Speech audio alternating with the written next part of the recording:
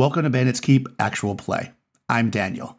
Today we are continuing the battle between the two goblin factions in my original Dungeons and Dragons campaign. This is kind of the war game part of the campaign where a mercenary group had gone out and defeated a goblin horde, but now that horde is fighting to see who is going to be the new leader and if they plan on taking revenge against that mercenary company. All right, we have another pretty important initiative here because, again, if the Wolves win, that one that has the two guys on the two sides of him is going to be able to get out of there. If they don't win, then he's going to be stuck in a melee that he does not want to be in. So, Wolves fail. Oh no, okay. Okay, so of course the other side's going to choose to move first. These guys turn. And they're being flanked. That being said, they can't move. So they're not going to move. And no move equals exhaustion goes away. Is that right? It does say not moving. I feel like I went through this before. You know, but they're in the middle. Well, they're not. They're not in a melee right this second. So they did not move. Yeah. No, I'm going to say that they're. Somebody can tell me what they think. Because again, not moving removes exhaustion, but at the same time, they're going to be in a melee at the end of this turn. So I suppose that makes sense. Okay, so they turn sideways. Everybody's exhausted. They're in a melee. Uh, this guy's going to move forward. His regular movement. Actually, you know what? He's not going to. He thinks they'll be able to take them out. He's going to stay here and get get his exhaustion back. That makes sense. This guy can't charge them. Oh, it doesn't matter. This guy's back here. They're also just going to stay put because they need to get their exhaustion away. These guys also don't think they can really do much right this second with this guy. So they're also going to stay put. So the only people moving were those ones that turned. Now we switch back to the to the Wolves. He's going to make a right face. And I think he can still, is he close enough to, oh, I don't think he can turn like that and then charge. Damn it. All right, he's still going to, he's facing them. Is it worth it? Nope, he's going to stay where he is. Because I think he's close enough to charge next turn. He is. He's going to hope for a win on the initiative next turn so he can charge. Because if he can charge in and take him out, that'll be the end of it, right? So this guy is also just going to stay where he is because, again, he's exhausted. It makes sense to stay. So we just have one melee. This is this is less than ideal for the wolf pack over here. They're probably going to go down, but we'll see. So these guys are exhausted, which knocks them down one rank. But because they're attacking from the flank, it brings them up one rank. So they're basically going to attack as heavy foot like they normally would. The horse, on the other hand, is also exhausted, so they're going to defend as armored foot. So heavy foot versus armored foot, one die per two men, six kills. So we've got, again, the ranks are five, so we're going to go two from these guys and two from these guys. No kills, no kills. Okay. They can fight back. They're five ranks deep still, so they actually can fight back as armored foot versus light because these guys are, remember, the armored foot because they're one lower. These guys are one lower, but because, oh, you don't defend as anything higher. So they're going to attack as armored foot with a plus one to their die. Armored foot against light foot, one die per man, four to six. So they're going to get First, these five are going to attack. Neither one of these guys made any kills, so that's good for, for, the, for me keeping track of. Okay, basically, three through six is a kill. Wow, that's five kills. That's fantastic for them. Okay. Five kills against two. And just because the math is easier for me right now, I'm good. Well, actually, I can do it this way. Same thing on the other side. Not, not as good. Three kills. Three kills against three. All right. So neither one of those is enough to cause the standard uh, morale check. So we have to do post melee morale. So let's jump over here. This group here, Goblin A2, has not lost anyone. So there's 25 of them. Now, it does say that when you're exhausted, this uh, there is an issue with your morale as well. So let's just check this. Because everybody's exhausted, so I might just call it a wash. But morale value, oh, they defend, okay. Oh, okay, it drops one value on rolls. Okay. Well, there's not really a roll here. That would only be if you did the other morale. So let's just look at it and go, you know what? It's a wash. Everybody's exhausted.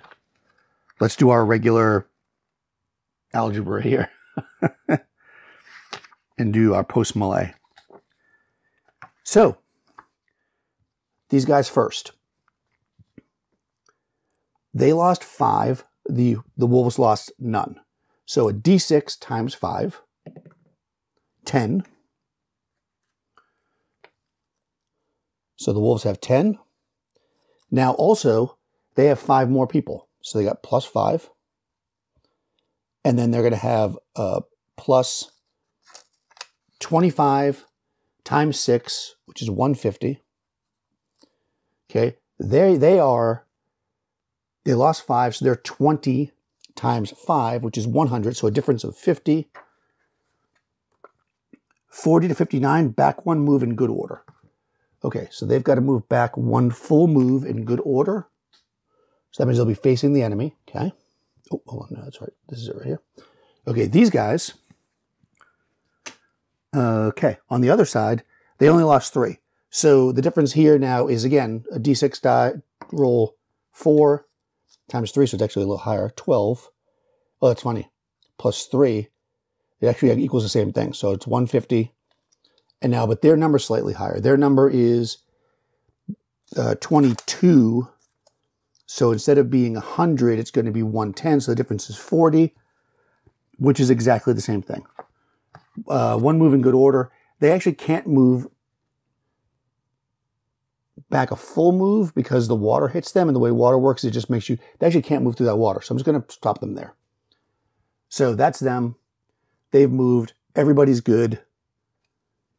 Okay.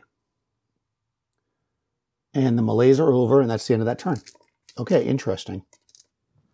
All right, let's see what happens next turn. That one group of horses needs to get the heck out of there. Actually, you can't charge them because they're on a hill. Forgot about that. Okay, next round. Okay, the footmen go first. All right, well, they want to stop anybody attacking their leader. So these guys, even though they're exhausted, are going to do the exact same thing. They're going to move back because they move back one thing. So they move back. Everybody here is still exhausted. That's going to be the same melee as before. This guy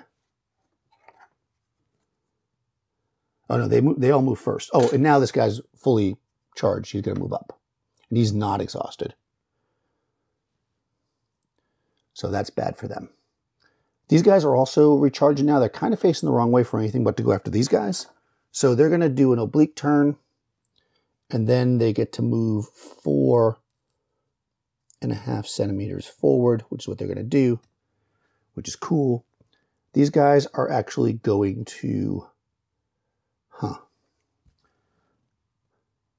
They can't really, you know, they're going to, well, that takes a full move to do that. They're just going to turn, just figuring that they're going to get charged by one or the other. These guys are going to move their full movement forward, wanting to bring themselves into position so they can actually block him eventually. And that's the end of their turn.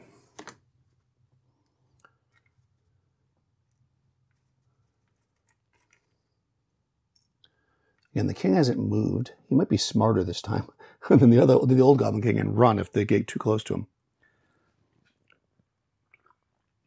But being on the hill is pretty is good. Can he get? Actually, no. He's going to move. Ooh, no. Yeah, these guys are weakened. Ooh, one, no, he'll stay where he is for now. All right, let's see. We'll do one move at a time to see what happens. These guys are definitely going to charge one of these two groups. I think they're going to charge these guys. Actually, they charge them, they can get them from the flank because you don't have to charge in a directly straight. You can kind of come in a bit of a 45, so they're going to come and hit them in the flank. They know that's going to screw them up to get hit. No, no, they're not going to do that. Why would they want to get charged themselves? They are smart.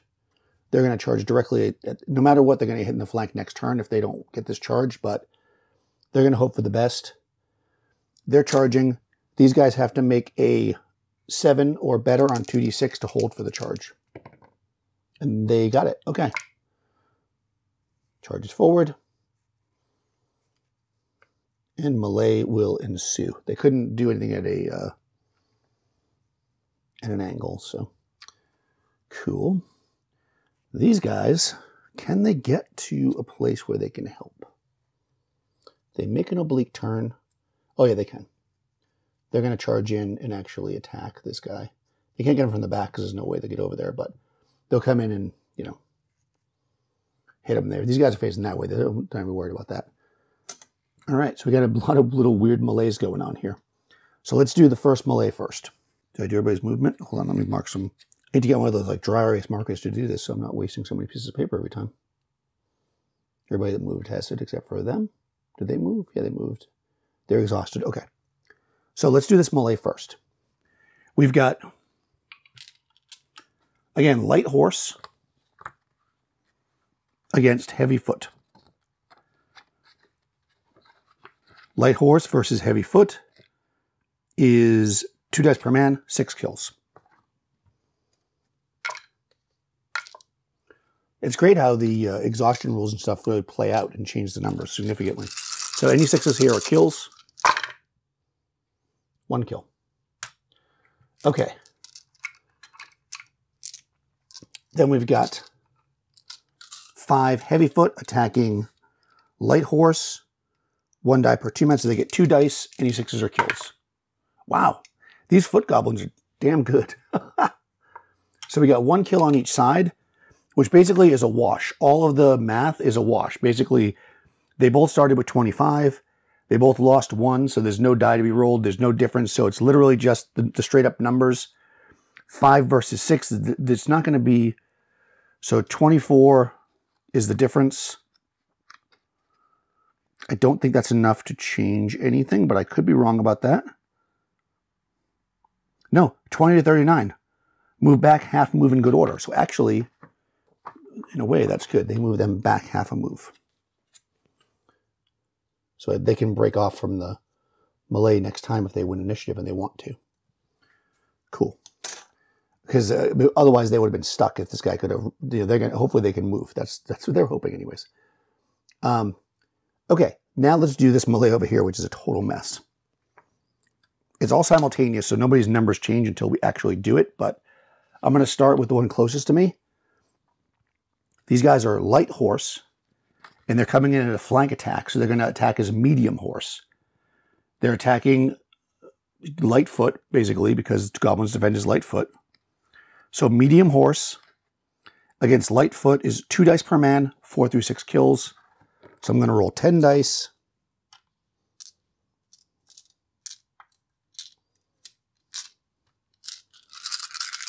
Four through sixes are kills. Okay. That is one, two, three, four, five kills.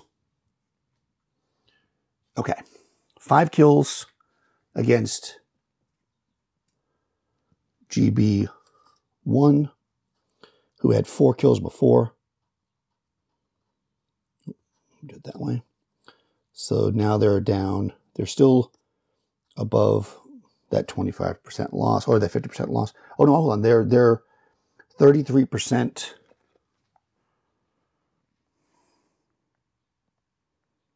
would be if they lose nine. And that's exactly nine. So they're going to have to make a morale check, melee is simultaneous. So that's going to happen in a second. They fight back, of course. There's five of them. Well, actually, they lost an entire rank. So there's four of them fighting back so heavy foot versus light horse is one die. So it's still the same because it's one die per two men. Sixes are kills. No kills. Okay, so let's remember that for a second. Before anything else happens, though, let's do them against them because that, that does matter as well. These guys are defending as armored foot. There's five heavy foot attacking them. Heavy foot versus armored foot. One die per two men, so same deal. Two dice. No kills, okay. But they're they're able to fight back. There's five of them. They are five armored foot against heavy foot. One die per man, six kills, so five dice here. Any sixes are kills. I'm just figuring out all the numbers of losses here of these guys before we. One. Okay. So they're definitely below that number. So the first thing we need to do here is make a morale check for them to see if they flee the field because they've lost 33% of their people. They've got to score a 7 or better on 2d6. 4. They fail. These guys retreat. They're off the board. Okay. Uh, it says if there's nowhere they can go, they'd be captured, blah, blah. But again, I'm, I'm not worrying about that. They run. The goblins let them go. They don't really care about that. That's cool. Here, though, still, we have another melee. These guys are off the board. Who are the other guys that left? Five. Okay, Goblin 2, who are still strong enough to do a full attack against them. Everybody here is exhausted at this point. Goblin 2 is attacking as Lightfoot against Armored Foot, so it's one die per three men, so one die. No kills. These guys are the same. No kills. These guys are attacking as Armored Foot versus Lightfoot with a plus one. So that is basically five dice, because there's enough of them to do five dice, right? That's GA2. Yep, they haven't lost anybody yet. Five dice uh, with a plus one.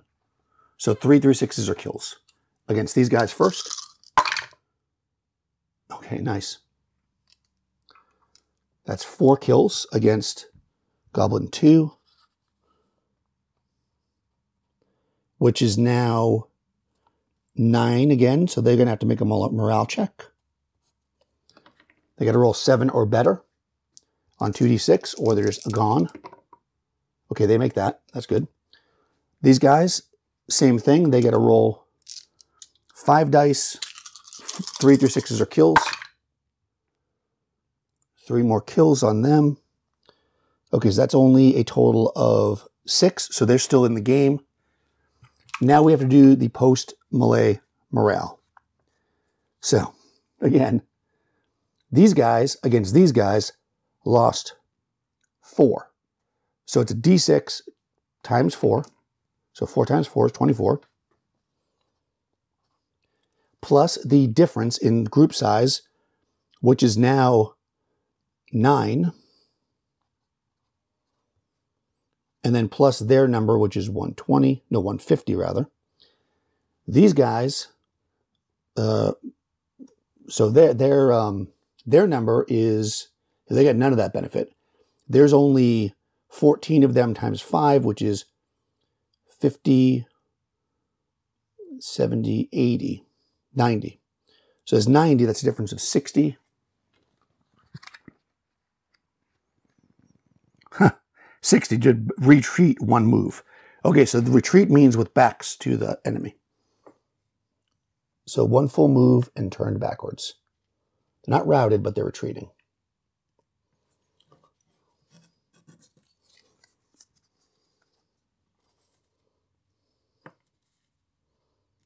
Okay. On this side, we've got a d6 times 3, so 12, plus the difference, which is 6, that's 18, plus 150, so that's 168. And their total number is 19 times 5, which is 95. So 168, 90. Hold on, did I do that math right? These guys should have been, hold on, I think I did the math wrong on these guys. They are Yeah, I did the math wrong on these guys. Hold on one second. So I shouldn't do the math in my head. They are basically 14, no, 16 times 5, 80. Oh, because I did that right. I just didn't subtract it. So these guys are, so the difference here should have been 103, not 80. So let's see if there's a difference. 100 uh, plus surrender. Uh, they continue to charge of equivalent proper ratio prisoners, guards, one through five prisoners. Okay. So these guys are basically off the board. They're, they surrender. And because in the end, these group, these goblins are trying to form a, a group together, they're basically, I'm just going to go like this because these guys have to now be, well, we'll just do it this way. They're going to move because that's what they, that's what we did. These guys next turn are going to lose five guys to be with them because they have to one, well, actually four guys. So let me do that. This is Goblin 2, A2. All right, so they're going to be down to 21 because they're going to send four guys off to go with these guys, the prisoners. On this side, so let's go back to this math again. We've got a total of, they've lost six, so they've got 19 times 5, which is 95.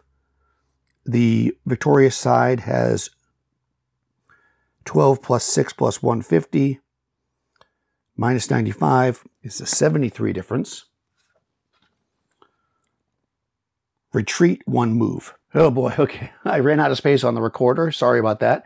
I will try to explain what happened. Not much, thankfully. I'd noticed it right away. So these guys had to retreat back and they hit the water. And retreat means you're back to the enemy, right? So we don't want that. So next turn, the footmen actually won initiative. They turned around. These group, these two both went in and attacked the horseman that's here. These guys moved up to try to get around to the back of the horseman. These guys sat where they were so they could relax and not be uh, exhausted anymore. These guys kind of moved up and over here because they're going to go after the leader.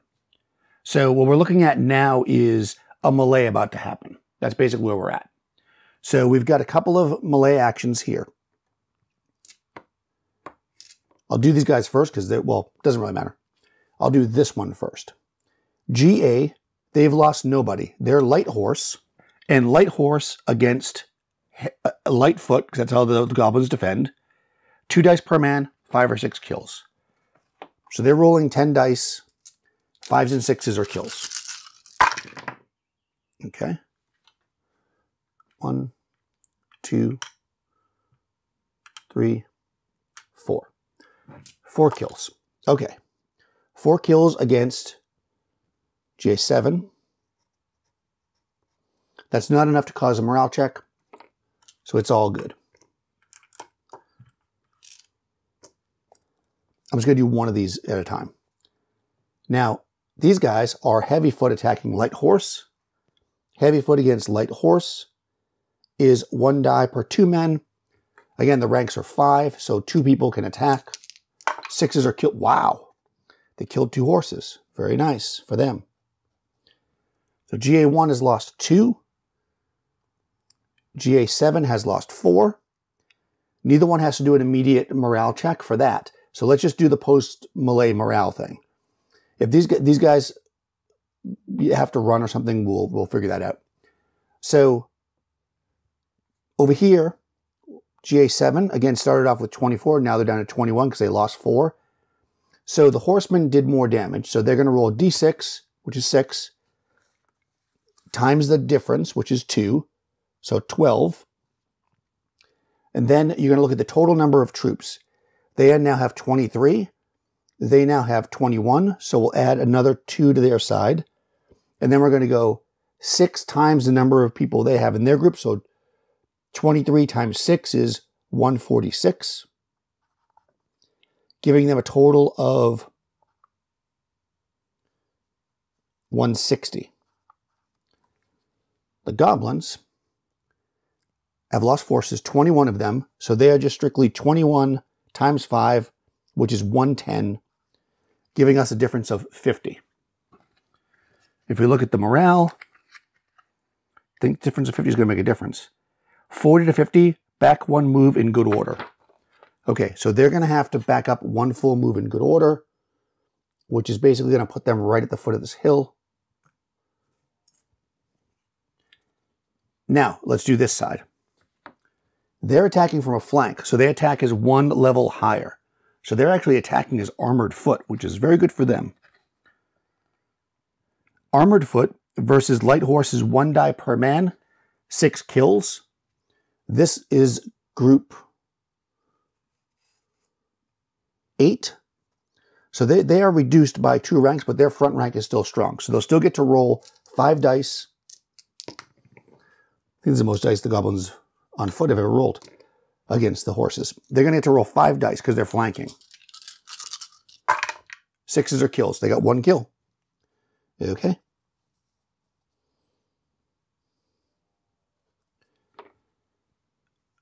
Coming back at them, they don't defend any differently, so they're still light, uh, light foot.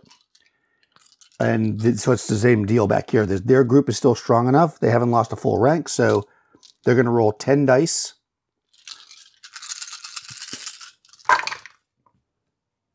Fives and sixes are kills. One, two. That's not very good. They deliver two kills to this group, which is uh, Goblin B8, which now actually drops them, which I should have done this before actually, and I don't think I did. They should have made a morale check, but I didn't, so I didn't do it, so it is what it is. So they have lost two. Actually, they might have to make another one. When they, they'll have to make it when they lose 16, and they are, no, they need to leave four more. Okay, so they are actually down now to, okay, good. doing my math in my head, but I should just do it on piece of paper. So, again, for this combat, these guys did two. These guys did one. So the horsemen have the advantage. They're going to roll 1d6 times that number, so two is what they get. They caused one more casualty, so they'll get one there. So they're two plus one, which is three plus now they're down to 22. 22 times 6 is 132, so that would give them 135 total. These guys on the other end, they've only got, they've lost 12. So there's only 13 of them. 13 times 5 is 50, 65. Ooh, that's not very good for them. That's a, that's a difference of 70. So again, retreat means that they got to move back and they uh, back to the enemy. So their back is to the enemy, which is a bummer because it takes a full move to turn around. They're three. Okay, yeah, so they're, these guys are here. These guys are also at three, right? Okay, yep. But it's going to come down to a, a bunch of people being exhausted again, I think. These guys are now off the board. They were exhausted and they got, uh, they surrendered. Okay, that's the end of that turn. We're still recording, which is good. All right, let's see who wins initiative. Again, white die is uh, wolves. Okay, the uh, the footmen win. Well, if they want initiative, they're definitely going to do. Can they do that? They can't. If they make an oblique turn, they can just get to this guy. Okay, so. All right. But they don't really have enough movement to, like, they're literally going to run right into his corner. So, yeah.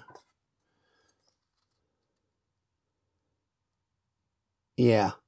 Like, they're going to run, actually, I'll measure it from the, the middle of the, the two of them because they're a group. So if I measure it from the middle, they actually can't, he's going to, like, barely not reach him. Of course, they would, so they're going to just get right up to him, hoping that he's going to well, he's definitely going to move because clearly his back's to them. So they can't quite get there. That's how we're going to rule it. They, they, they moved. They made their choice. This guy's going to turn around because he wants to do the same thing. He's going to try to try to get back into the, the, the scrap. Okay. He obviously doesn't want to get charged.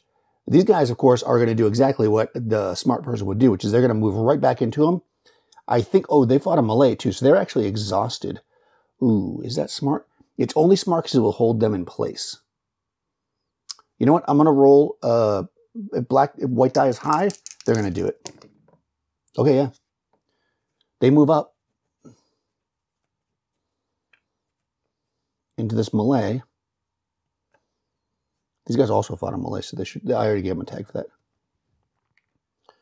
They come into the melee, but they are now going to be exhausted. They get exhausted from the move, not from the melee. So they're going to be exhausted when they come into the melee. I think is how you how I would run that. Okay. The these guys can actually come up and engage the. He probably should have turned last turn. I don't know why he didn't. They've got enough movement to do it. They're going to come up and engage. Actually, they can, can they get behind him?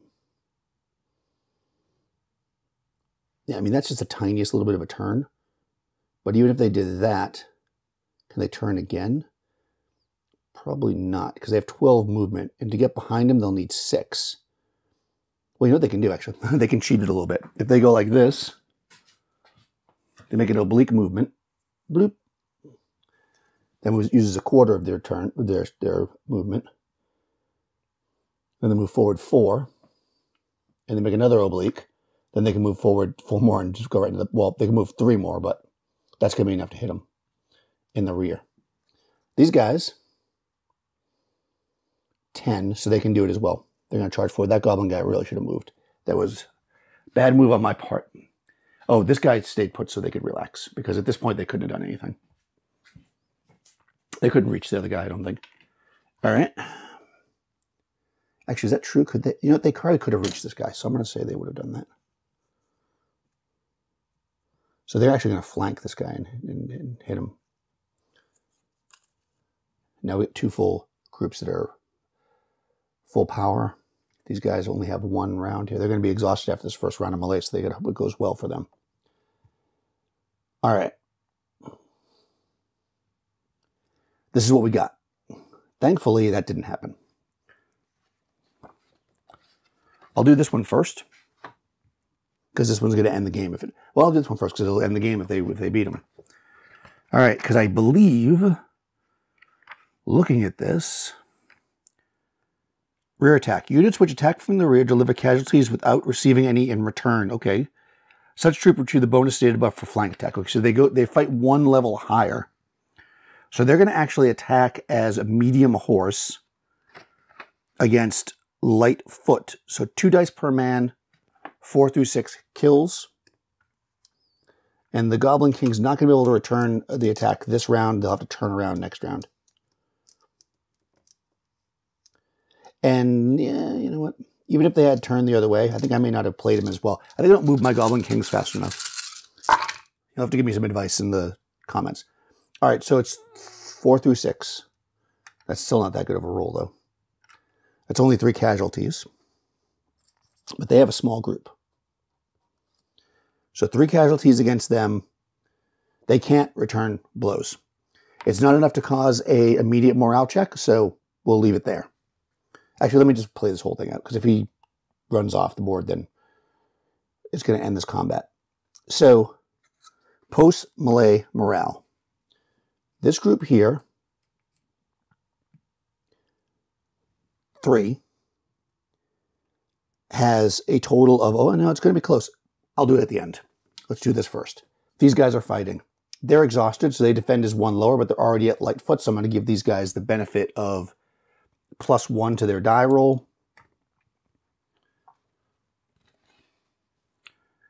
And again, light horse, you think I've memorized by now. Against light foot is two dice per man, five or six. So this is going to be two dice per man, four through six. Kill. But they really did this to hold them in place because if they win this melee, then these guys are going to get hit by the rear next. Okay, so four through six. Wow, they did not that great there. Okay, they caused three casualties. They also attack as one less, though. So they are light foot attacking against light horse.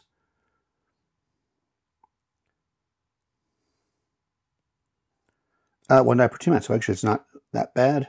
So they get to roll two dice, no kills. Okay, so this is seven. They lose two more.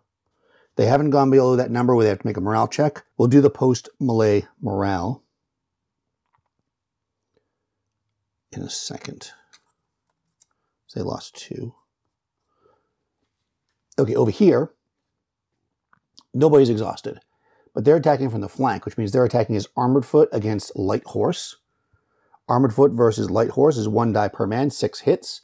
That group has enough to be a full force, so they're going to roll five dice. Any sixes or kills. They got one. That's against these guys, two. Now, they hadn't lost anybody technically, but they lost four people because they had to take the surrendering guys off. So that's actually not great for them because now they're down to 20, which makes them almost the same, except they get to fight back. Uh, they will fight, these guys defend as one higher because they're flanking. So light as, no, no, that's only with the, uh, the only attack is one higher with the flank. I think I may have done that wrong over there too, but that's okay. You don't defend as one. Oh no, actually it says next higher, well it says flank attack. So I guess they're the next higher class. So they defend as heavy foot. So light horse against heavy foot. is two dice per man, six kills. So it's the same amount of dice, it's just that only six is kill now.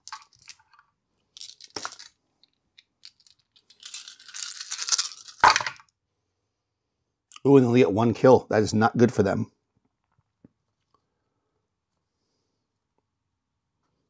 Because they got two against them.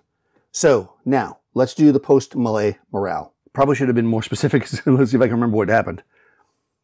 These guys attacked. They did not. They took damage, right? three, they couldn't return any blows. So we're going to do a d6 times 3, 18. Then we're going to look at the difference in the force size. So these guys are these guys are 18. These guys are 12, so there's a difference of 6. And then we're going to multiply 18, which is what they are, by 6. That'll be their base number. The 6 is because they're light horses. So 108.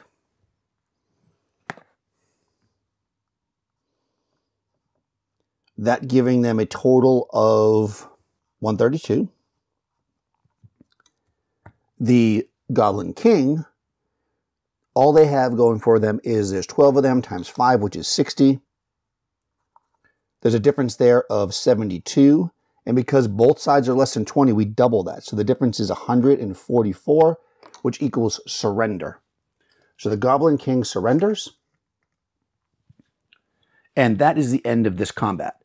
Whatever happens over here doesn't actually matter now. If people retreat back or they do whatever, it doesn't matter because the king is dead. Long live the king, as they say.